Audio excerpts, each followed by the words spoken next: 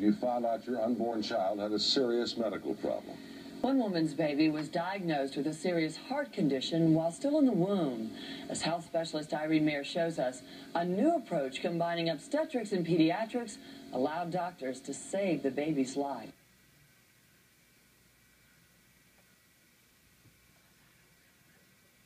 Born for a routine checkup, Christina Glenn may and I went for my normal checkup, my routine checkup, and um, the baby's heartbeat was 300 a minute. the heart rate of a normal fetus is between 120 and 160 beats per minute. Well, this is uh, at least a doubling of the heart rate, and this leads the heart to suffer uh, and to enlarge, and eventually can lead to death from heart failure. Christina was diagnosed with a rare heart condition called ventricular tachycardia. Not long ago, doctors would have had to wait for birth before treating it. But now, a specialized team of doctors at Tampa Children's Hospital at St. Joseph's can treat the fetus while it's in the womb.